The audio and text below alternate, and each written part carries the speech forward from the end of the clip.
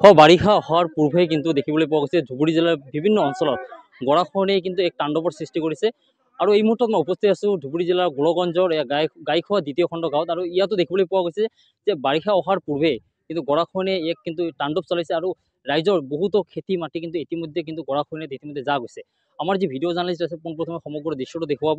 এয়া হৈছে গোলগঞ্জৰ গাইখোৱা গাঁৱৰ দৃশ্য। আৰু এনেদৰে গংগাধৰ যি নৈ আছে এই গংগাধৰ নৈয়ে বিভিন্ন বহু বছৰ ধৰি এনেদৰে কিন্তু এক তাণ্ডৱ সৃষ্টি কৰিছে আৰু এই তাণ্ডৱৰ ফলত এই গৰাখহনীয়াৰ ফলত আচলতে বহু বিস্তীৰ্ণ অঞ্চল কিন্তু ইতিমধ্যে গংগাধৰ নৈত ডুব গৈছে আৰু সামগ্ৰিক পৰিৱেশটো দেখুৱাই আছে যে আজি যি ইয়াৰ যি স্থানীয় যি গাঁও আছে গাঁৱৰ যিসকল মানুহ আছে সেই মানুহসকলে কিন্তু এই গৰাখহনীয়া ৰোধ কৰাৰ বাবে কিন্তু এই চৰকাৰৰ বিৰুদ্ধে কিন্তু প্ৰতিবাদ প্ৰতিবাদ তুলিছে কিয়নো বিভিন্ন বহু সময় বহু বছৰ ধৰি তেখেতসকলে কিন্তু বিভাগীয় যি মন্ত্ৰী আছিল বিভাগীয় যি চৰকাৰ আছিল বা বিভাগীয় যি বিধায়ক আছিল তেখেতে বহুবাৰ আবেদন নিবেদন কৰিছিল কিন্তু আজিও তেখেতৰ যি সমস্যা গৰাখহনীয়া ৰোধ কৰাৰ বাবে কিন্তু আজিও আগবাঢ়ি নাহিল। মোৰ লগত আছে স্থানীয় এজন ইয়াৰে এজন যুৱক। দাদা কি ক'ব? বিভিন্ন বহু বছৰ ধৰি গৰাখহনী এক তাণ্ডৱ সৃষ্টি কৰি আছে কি ক'ব?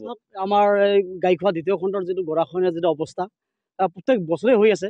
কিন্তু এই এইবাৰ যোৱা বছৰৰ ইমান তাণ্ডৱ সৃষ্টি কৰিছে আমাৰ গ- গৰাখহনীয়াই ওচৰতে গাঁওখন চাওক আপুনি ইমান মানুহ আছে। এই মানুহবিলাক ক'ত যাব?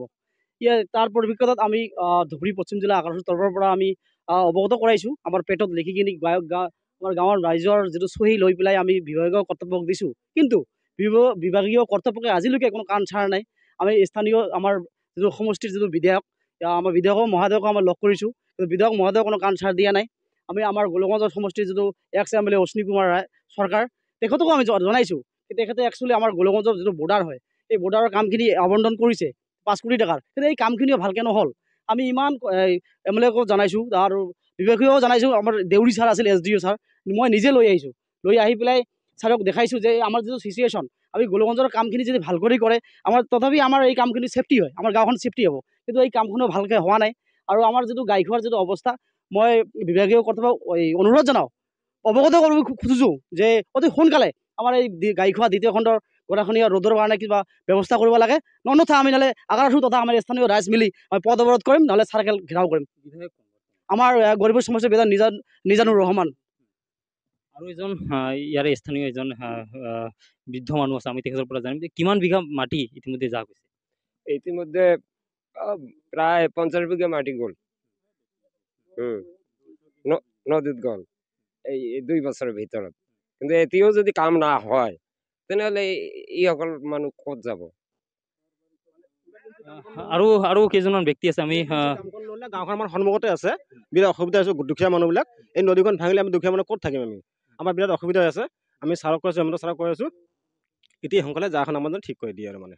কি ক'ব বহু বছৰ ধৰি গৰাখহনীয়া ইয়াক যিসকলৰ খেতি মাটি আছে সকলোবিলাক গৰাখহনীয়াত ডুব গৈছে কি ক'ব? এতিয়া মই কি ক'ম আপোনালোকতো চাই আছে আমাৰ ইয়াতে বানপানী আহে ফালে একদম ঘৰৰ ওচৰত নদীখন গৈছে। ঘৰৰ ওচৰত নদীখন গৈছে আমি দুখীয়া মানুহ ক'ত যাম? এই যে চৰকাৰে যদি নকৰে ধ্যান নকৰে আমি নিশ্চয় আমি চাৰ্কেল অফিচ কিবা এটা আমাৰ ব্যৱস্থা কৰিব লাগিব। বহুত আছে এখন গাঁও বহুত আছে বহুত কথা আছে একশো ঘৰ আছে। তাহলে আমি ক'ত যাম? ক'ত যাম?